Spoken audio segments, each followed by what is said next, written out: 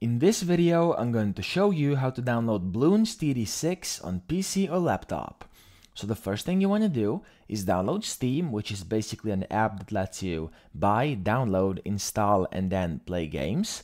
And you can do that by simply typing download Steam into Google, go to their website and download it and go through the installation process, which is very simple and straightforward.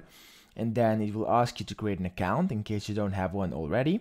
And once you've created that, this is the screen you're going to see. So this is the Steam app, the Steam store over here, where you want to go to the search box and type in Bloons TD6.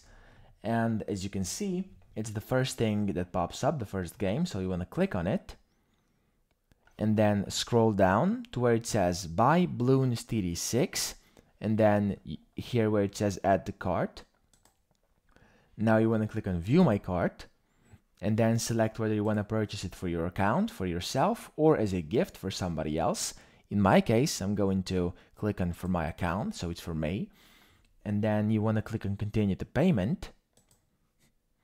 Now here you have to select the payment method from the drop-down menu. In my case, it's going to be PayPal, but these are all the available options right here. You can choose whichever one you prefer and then you want to click on this green button over here saying continue, go to the checkout process, pay for the game and buy it.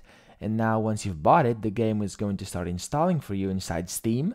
And once that's done and the game has been installed to your computer, you want to go up here to your library, click on home, check games over here on the left in case that's not checked already.